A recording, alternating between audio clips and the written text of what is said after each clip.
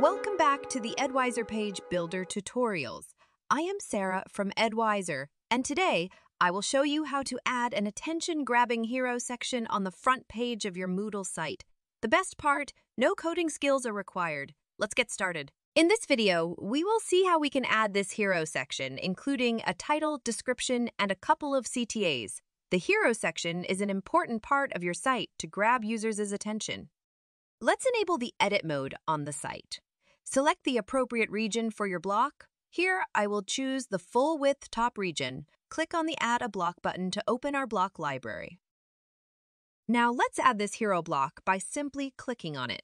The block is added to the page. We can move this block to the top of the other blocks using the up arrow keys.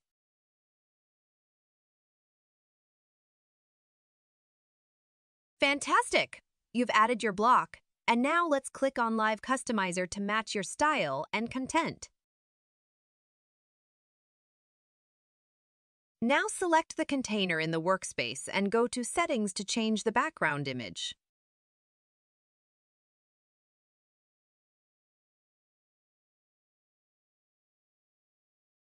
Next, select this container, and let's move it to the right by adding some right margin from the settings. Now we will revise the title to grab users' attention.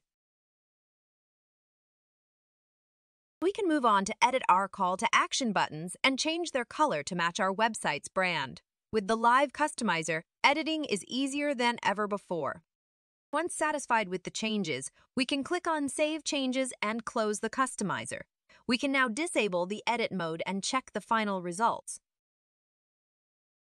Congratulations, you have successfully created a hero section using the Edwiser Page Builder, now available in the Edwiser Remu I, Pro and Above packs. Thanks for watching. Please like the video, and for more tutorials on Edwiser Page Builder, subscribe to our YouTube channel. Also, if you want to know about other such blocks, please request them in the comments section.